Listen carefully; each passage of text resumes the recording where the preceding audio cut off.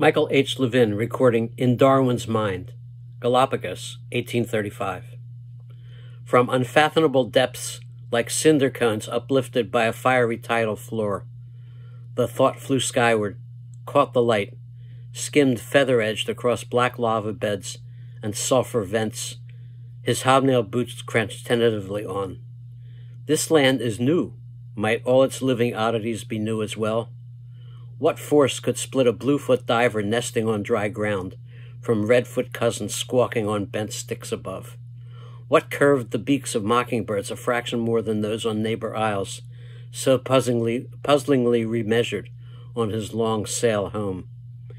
He could not see these islets marching by inches towards the east as new ones rose behind, repeating speciation on a global scale, and took three decades more to plumb that five day tour of hatchlings murdering for life, an ocean mother of islands, and change the mother of all.